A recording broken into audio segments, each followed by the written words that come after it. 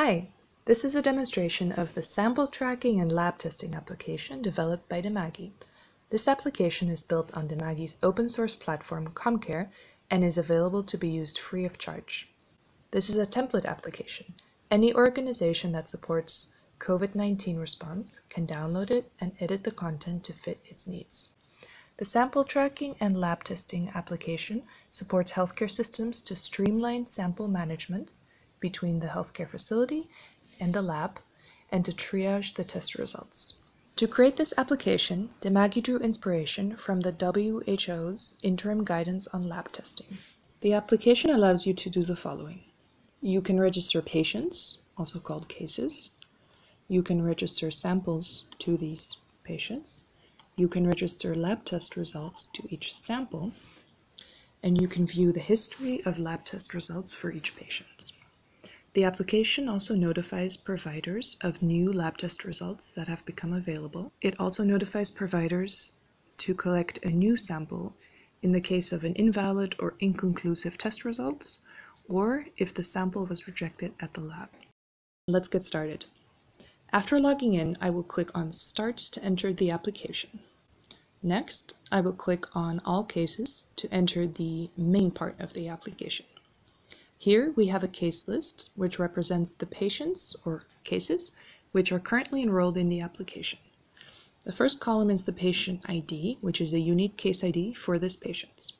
Next, we have the patient's name, lasts, and first. The last column includes icons which tell us more about the patient's current status. The orange microbe symbol indicates that Boris Johnson has tested positive for COVID-19. Underneath, there is a faint gray symbol of the microbe with an X over it. This tells us that Barack Obama was tested negative for COVID-19. The third patient, Angela Merkel, has a clock indicating that her results are still pending. Let's complete an entire workflow, starting by registering a new patient.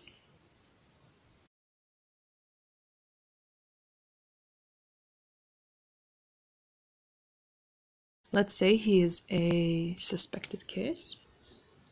Date of birth.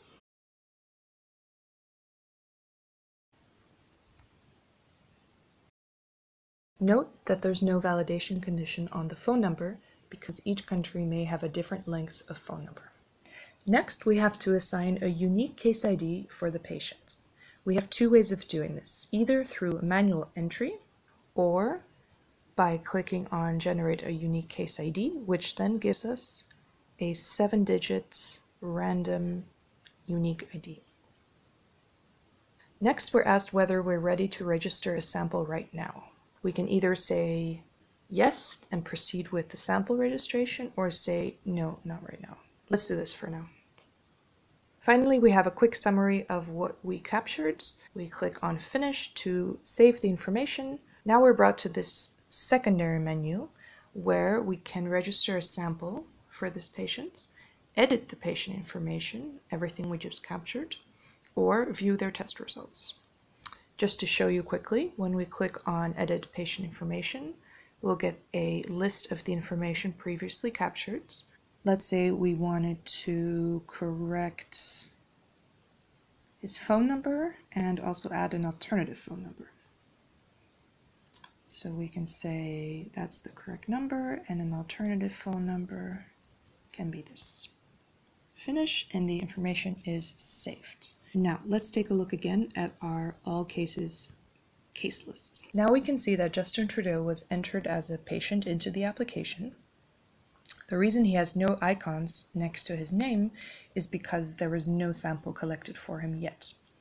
When we click here, we see the information previously collected, we can also call him directly from here in case we needed to contact him. Let's now continue to register a sample for him. So this screen tells us that we'll be registering a sample for this patient and we're asked just to confirm before continuing. The sample is collected on today's date, so we'll leave the date as is. We select the type of test, followed by the type of sample collected. Next, we have to assign a unique ID to the sample. We can choose for manual entry, where we type a unique ID, or by generating a unique ID. Next, we're asked whether the sample has a QR code or a barcode associated with it. Let's say yes. We'll click on Get Barcode. For the purposes of this demo, I'm using the barcode on the back of a book.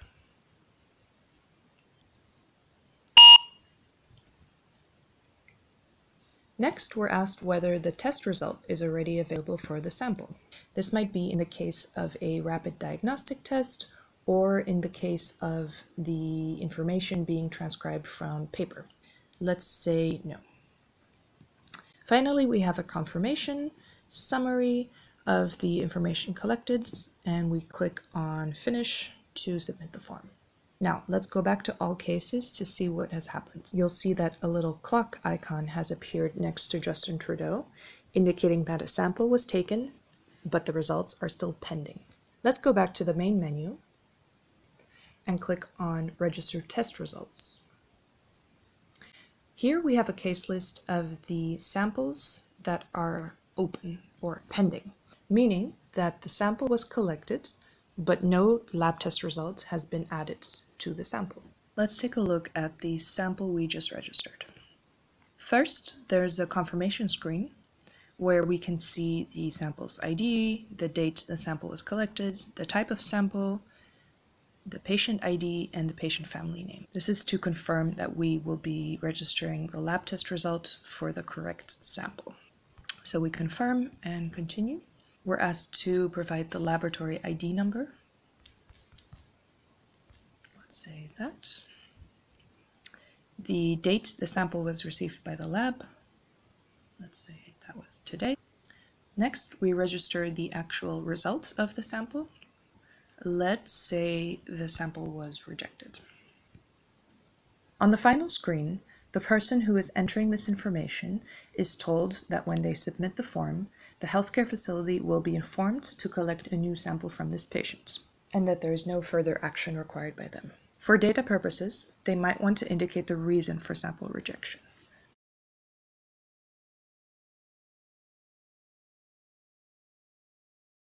The sample has now disappeared from this list because it is no longer a sample that is pending results. Let's go back to all cases. As you can see, patient Justin Trudeau is now at the top of the list with an icon next to his name indicating that the sample was rejected. This indicates to the healthcare facility that Justin will need to be called in again for a new sample to be taken. Once we're ready to take a new sample for him, we'll click here, continue, and click on register sample.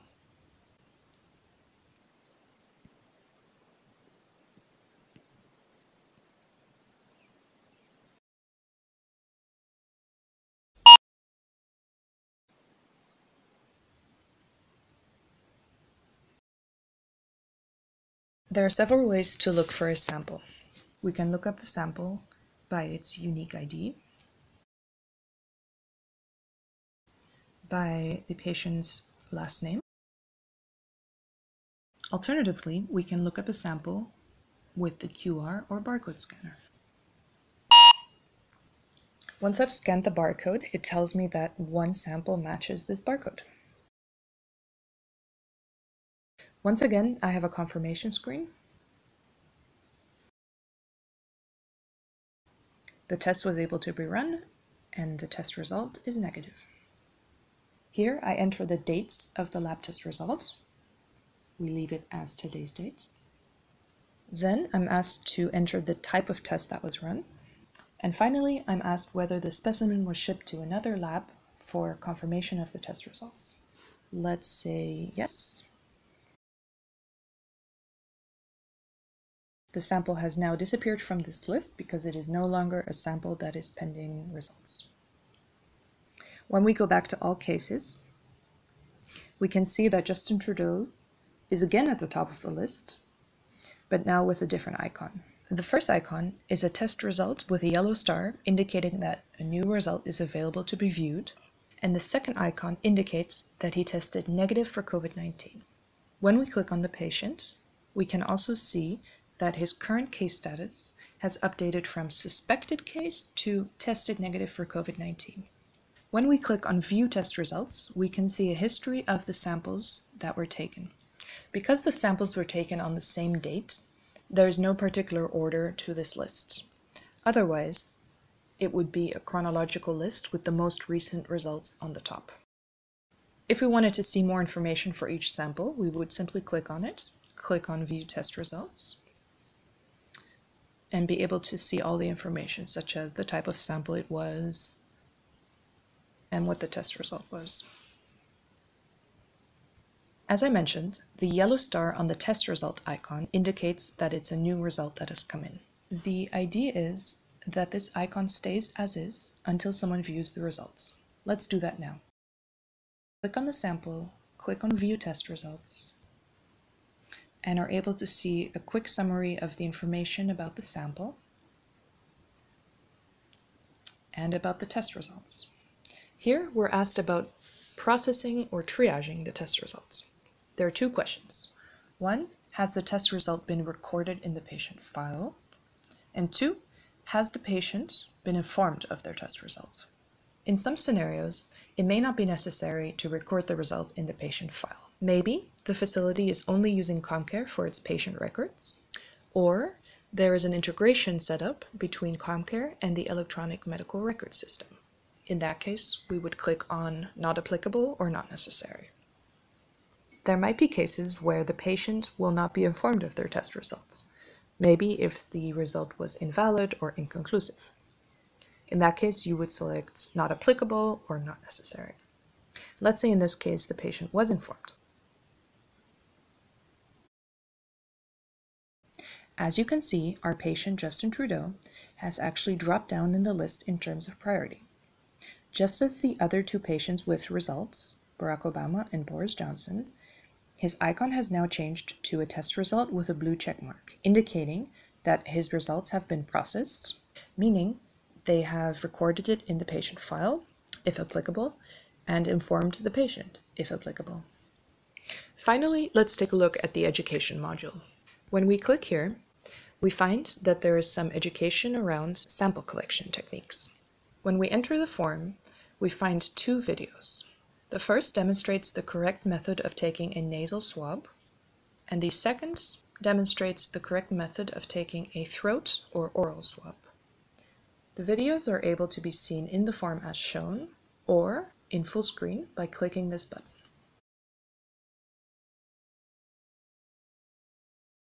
These videos are courtesy of DigitalMedic, an initiative by the Stanford Center for Health Education. Thank you for watching the demo video for the COVID-19 sample tracking and lab testing application. Remember that organizations can easily modify all application content using CommCare's turnkey application builder. For additional documentation and instructions on how to download a copy of this template application or any other template applications, please visit www.dimagi.com forward slash COVID-19.